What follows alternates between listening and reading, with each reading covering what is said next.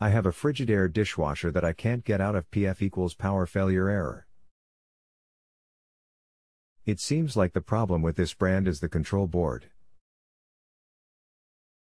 I was hoping it isn't that since they run around 140. Is there any way to reset the unit besides unplugging it and plugging back? Maybe a secret button that clears this error out. The manual says press start slash cancel button but that doesn't do it.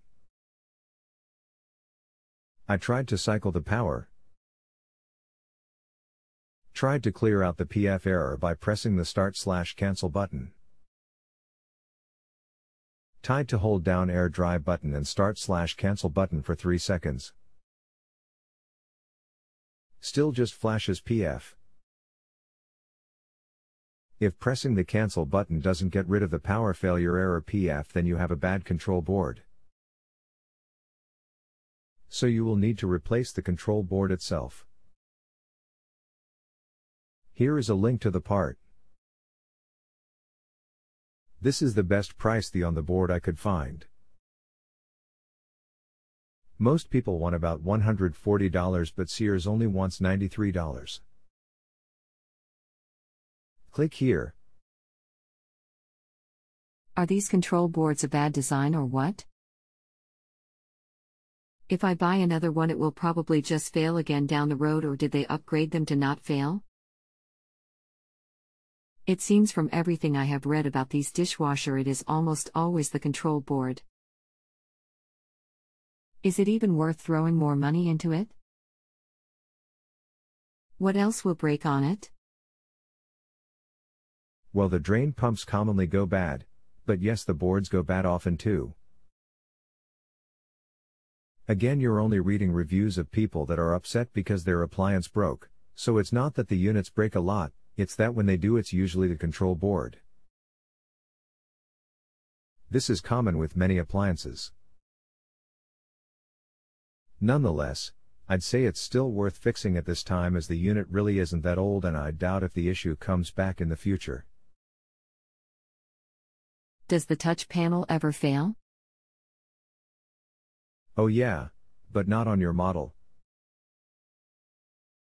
Some models they fail all the time. Okay, so I order the control board. Let's hope that is the only thing wrong with it.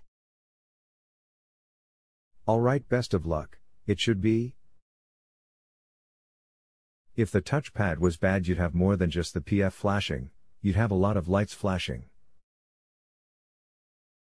Okay, so I installed the new control board and it does the same thing as the, the old control board. Flashes PF. Upon press every button the Hewlett made scrub button final did something. It then gave me a flashing DC. Door close is alright close. So I open it and it changes to do, door open. After closing the door again, the display flashes 32. After I couldn't do anything else will it I switched back to the old control board and tried the same steps. It did the same thing with the Hewlett made scrub button and then the DC and do message the flashes 27. So. What else can be wrong? Or did they send me a bad board to go with the other bad board I already got? Do in DC when it flashes means the touchpad is bad actually. As I said, when the touchpad shorts out all sorts of things will flash like DC do PF 313527. It sounds like water or steam may have gotten into your control panel to short out more than just one part. So I need order a new touchpad too? How much does that run? And my control panel might not even be bad? The control panel is $93. Here is the link. Click here as far as the board I can't say for certain if it's bad or not. If it was only giving the PF error before and now it's giving lots of display issues then it sounds like you just have two bad components. If you have a home improvement or appliance question and want to chat with an expert now visit justanswer.com/ythi.